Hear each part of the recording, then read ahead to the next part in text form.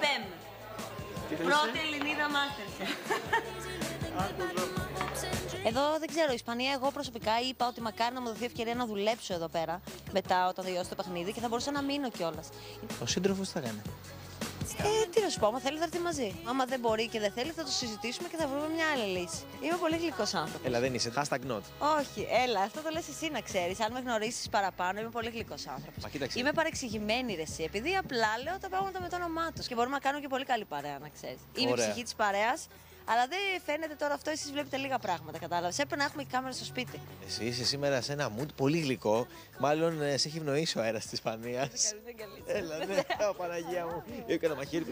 Όχι, ε. Τα λες αυτά και ο κόσμος νομίζει τι νομίζει. Ναι, εγώ και είμαι του πολύ φταίω, καλό. του Εσύ του κόσμου. φταίεις. Εσύ Εγώ του το φταίω φταίς. του κόσμου. Αυτά που λες εσύ τώρα. δεν κάνουν τίποτα. Αυτά που λέω εγώ κάνουν. Σου κρατάω πολλά μυστικά να ξέρεις εσένα. Πάρα πολλά. Θα μου τα αποκαλύψεις Σου όμως κάποια υπόσχομαι στιγμή. να σου πω τέσσερα μεγάλα μυστικά. Κράτα τα στο χέρι σου τέσσερα όταν έρθω στην υπέροχη εκπομπή μας.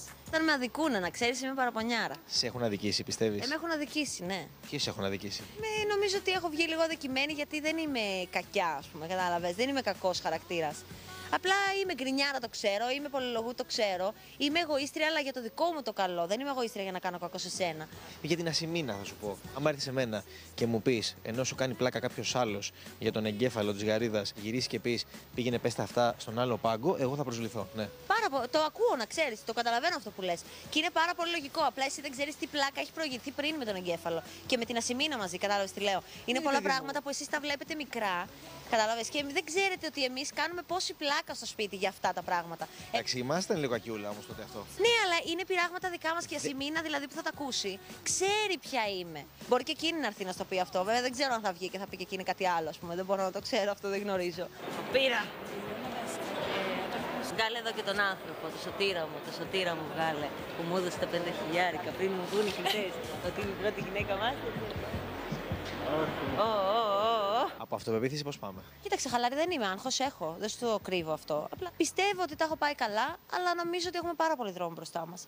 Αυτοπεποίθηση έχω από την πρώτη μέρα που μπήκα μέχρι τώρα, αλλά για μένα είναι υγιής αυτοπεποίθηση. Πρέπει να πιστεύει ένας άνθρωπος στον εαυτό του για να πάει μπροστά.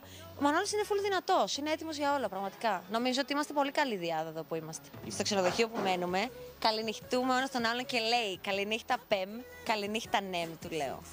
Τι σημαίνει; Είναι πρώτη Ελληνίδα Masterchef, νέος Έλληνας Masterchef. Το παιχνίδι τώρα ξεκινάει. Και όλοι εσείς εκεί στο κούκου ερχόμαστε. Δώστε μας λίγες μέρες να τελειώσει και ερχόμαστε. Καλύτερη περίπτωση από το Καλύτερος Μανώλης Παριατό.